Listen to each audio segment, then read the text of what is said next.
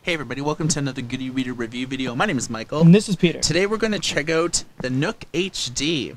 This is the follow-up and they're relatively the same size as the Nook Color and Nook Tablet. First of all, the resolution has been dramatically increased. You're looking at 1440 by 990, which is a pretty odd resolution um, standards, the first one we've ever seen with these exact stats. A 7 inch screen, of course, and a dual core 1.3 gigahertz processor. It has the same amount of RAM as its bigger brother, the Nook HD Plus, with 1 gig, and you have two options in terms of memory an 8 or a 16 gig model, and of course, micro SD support, but Peter will tell you all about that. Wi-Fi and Bluetooth, which means that you could hook up an external keyboard or a game controller no cameras, and a 10 hour battery life. So it's on par with the Kobo Arc in terms of how long you'll be able to wheel and deal. Let's take a look at the 360. Not a fan of the white uh, colored one. Looks like a bar of soap to me, and it certainly is dramatically different from the Nook tablet, which is uh, the past kind of unit. And it looks nothing like it. I mean, the Nook tablet looks like the Nook HD Plus, which is kind of keeping the whole theme of you know the chiseled edge and the little loop and all that, and the the the bezel kind of all nice and you know grayed out and stuff. And then you get this, and it's it's a huge departure from yes. anything else they've ever done. And it's weird because the the new releases were the Nook HD and the Nook HD Plus, and of course we will get into a full video comparison in the uh, in the future. But the theme is not consistent, and they're kind of it's just kind of out of nowhere to me. But either way, the resolution's pretty tight. It's a very it's a 16 by 9 esque screen, so it's not going to be more like an iPad where it's more of a square. It's very long. Uh, nothing really going on in the front. You have the N button, which uh, takes you to the home. You have your uh, Nook jack, as it were. I'm not really sure what they're calling this yet, but this is the proprietary Nook plug and it does uh, look very much like an Apple one, but it does not fit in any Apple products as we've tested. You also have status indicator light with a SD card slot right there, expandable up to 32 gigs. Nothing going on on the right. You have uh, up and down volume, power button slash standby, 3.5 mil headphone jack, and a microphone. On the back, we have our embossed and hard rubber backing, and for some reason, stereo speakers, whereas the Nook HD Plus only has one. Yeah, so let's take a look at the software experience now. Okay, when you uh, like stuff and and things and such, yeah, 15 right away, 15. So this is when you powered it on this is what you're looking at. Now we've actually created profiles on the Nook tablet HD plus and we when we rebooted the Nook HD which is the tablet you're looking at here it actually retained those profiles. So Shu is our default profile and these Goody and Amy is our kids profiles. So let's just take a look at the kids profile first and this is something that you could actually uh, set up your kid for. Now you can see that they only have access to apps and library. And we'll show you in a second what everyone else has access to. So we restricted this particular profile from viewing certain things. If we go back to our main profile that has no restrictions, you will see that everything is accessible. Yeah.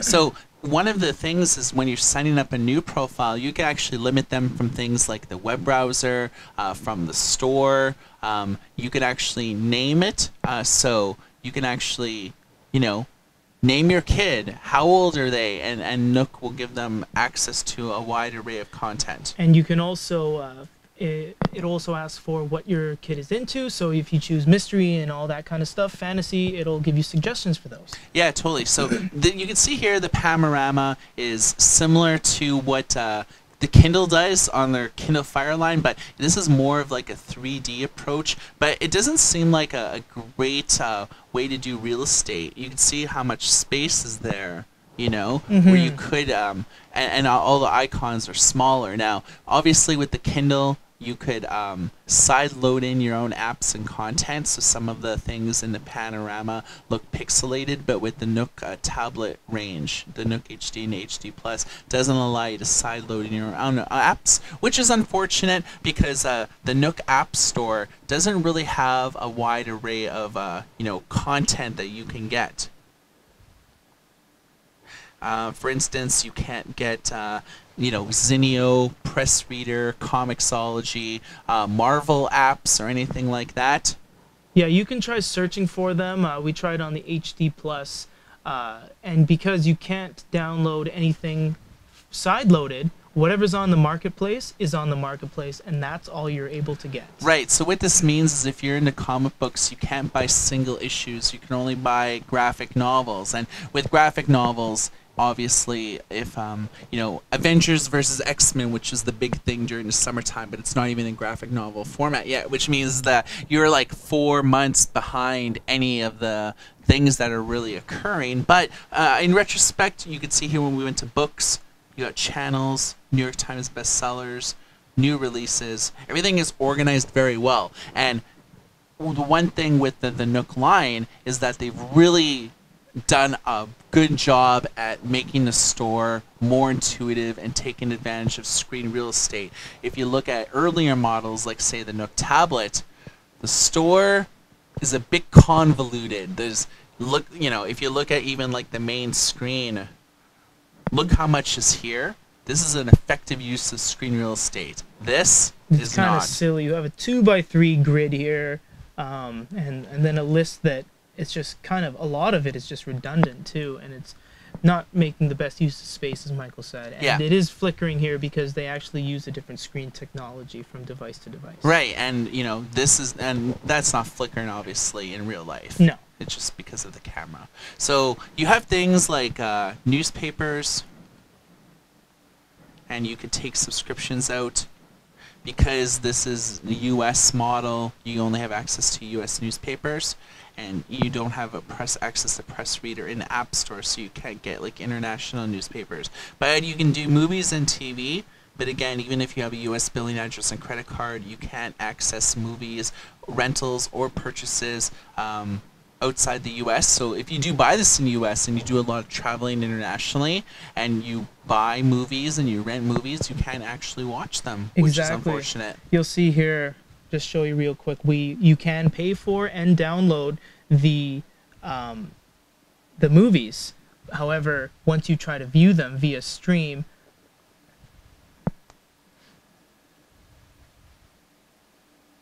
it either just loads forever, or you try downloading and it says it's unavailable to your Nook because you're outside the USA. Yeah. So one of the interesting things about uh, the library is how they've really changed it over previous Nook models. You see a little cloud here. Those are books that we've purchased but haven't downloaded to the device. if you actually click those, what they do is they uh, just load up, and uh, from your account, it will download to this device, and it will be the same whether you have a Nook Tablet HD, Nook Tablet, or so forth. So here's the reading experience. Kind of gives you a little bit on how to use it.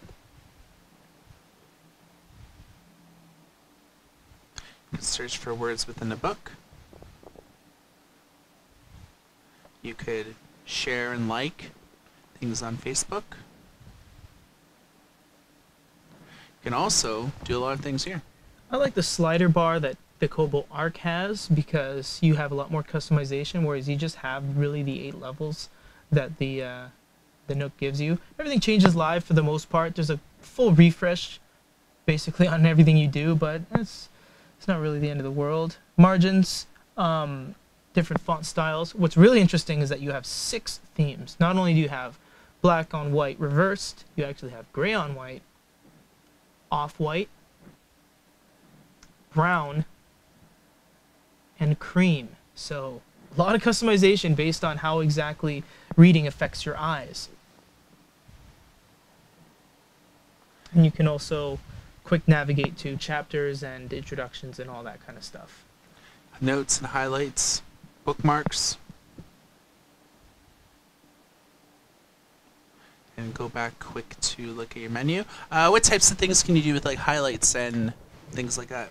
Press and hold will bring up the little menu at the top, and if you make a highlight, you'll see that it, by default it may be a certain color. If you click that, you can choose different colors from there, such as green and yellow.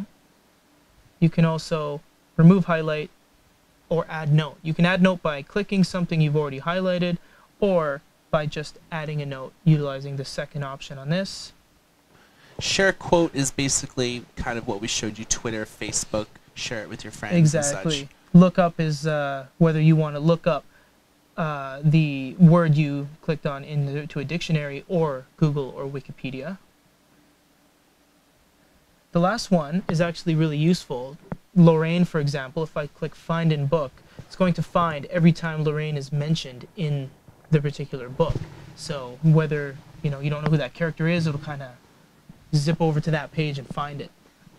Of course, uh, you can turn on animated page turns with uh, another function here. We won't go into that right now. One of the things that uh, this does well is uh, read. Oh, right there. It tells you on a different device, which we were exploring on the Nook HD Plus. So here's how it looks in portrait mode.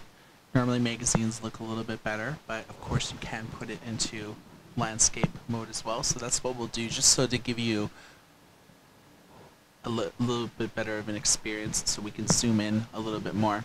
But you have uh, animated page turns and as you can see that a little bit different. One thing uh, Nook has introduced is a feature called article view which gives you a little bit a little bit better experience so you don't have to like be pinching and zooming and things like that. It's very easily readable like this. Well, yeah, I mean, font sizes on newspaper and magazines, we all know have always been really small. So this gives you the flexibility to go from that to almost the full page without pinching and zooming. Yeah. One thing that you could do is uh, with magazines is that you could assemble them, them into scrapbooks, and this is a new feature. So you could make a new scrapbook. And uh, while we're here, this is the keyboard. It's um, fairly fairly decent. standard.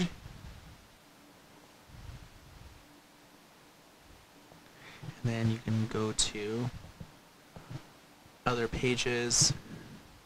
Hey, I like that. At fashion ad, let's add that to Good e-Reader too. Clipping saved.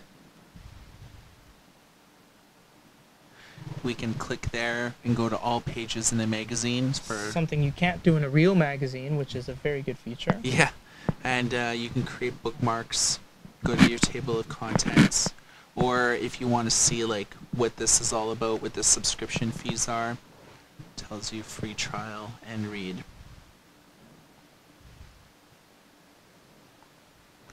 Okay, so we go to our library. We've looked at, you know, so far we've looked in the ebook, magazines, but there's actually newspapers as well. So these are newspapers from uh, the Barnes & Noble store. And you can see it's uh, very much sort of like an ebook. You can see some articles here. You can click on the picture and get like the full article. Once you're in this kind of article mode, it, it really performs like an ebook. You have all the same Yeah. uh, the settings and you have all the same font styles and all that kind of stuff. So uh, really handy. Yeah, it won't rehash everything that you could do, but you can do a lot. And yeah, I mean, new. This isn't the newspaper that you grew up with, or this isn't even like how newspapers usually show up on Press Reader. This is all like Barnes and Noble proprietary technology and things like that. Breaking down the newspaper really into links you can click and organize sections. Yeah. So some people may like it, some people won't, but it is a fresh way to uh, go about doing things. Uh, here's the scrapbook that we just did. So these are not the magazine, these are the pages out of the magazine we've actually collected. Of course, peeking and things like that.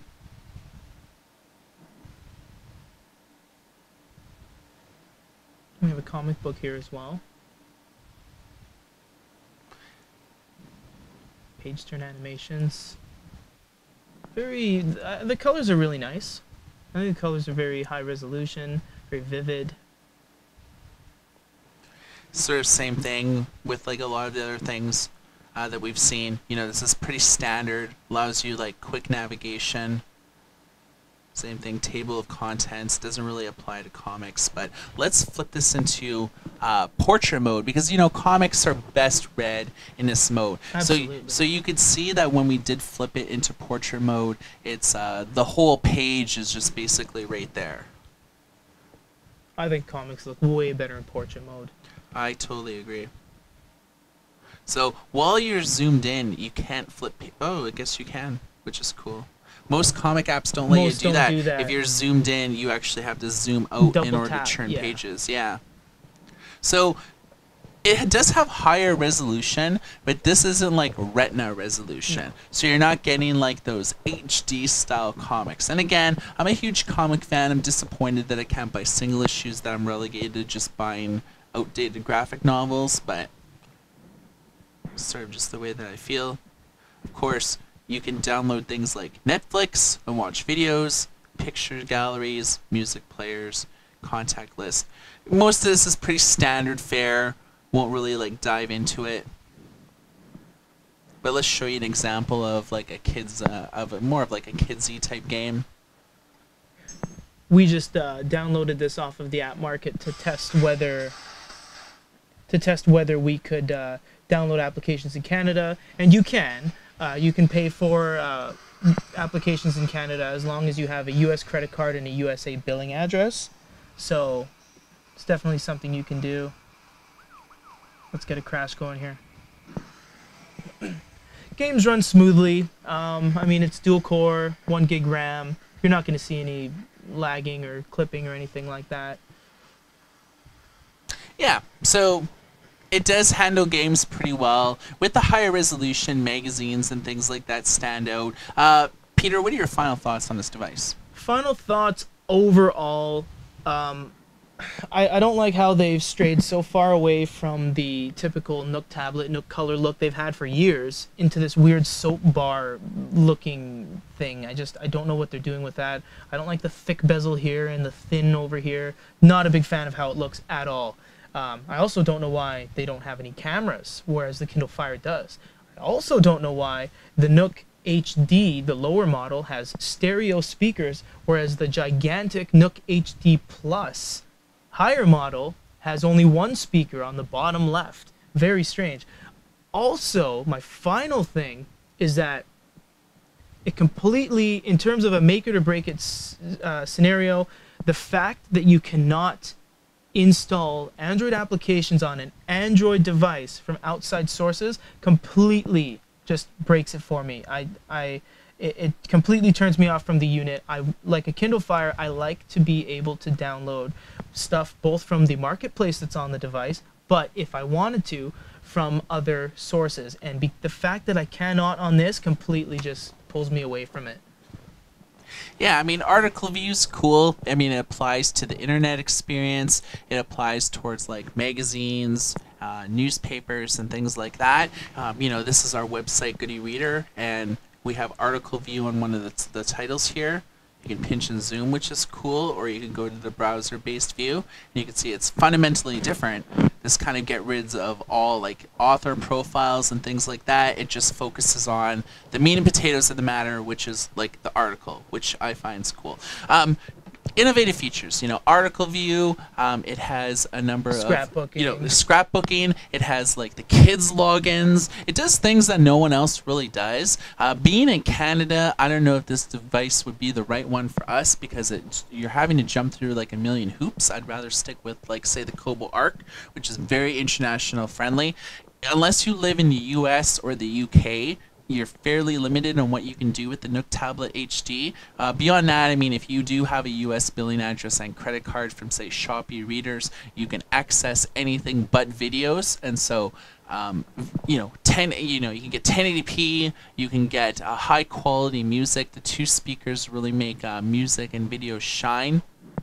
Of course, you can watch things like Netflix if you don't have access to um, movies from Barnes & Noble. But I would say the Barnes & Noble app market is severely lacking. You can't get a lot of alternative reading apps like Kobo, Marvel, DC, Dark Horse, or anything else. So you're, you're pretty well locked into Barnes & Noble's walled garden. And I'm not a huge fan of being locked into anything.